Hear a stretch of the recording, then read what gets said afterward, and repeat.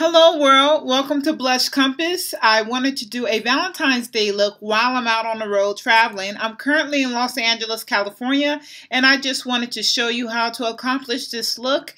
I have several challenges while I am traveling. Limited stowage as far as what I can travel with with my makeup supplies and also the different lightings in each hotel room that I visit. So please stay tuned if you'd like to see me accomplish this look. Don't forget to subscribe, like, and please don't hesitate to ask any questions or comments. All right, take care. Till next time.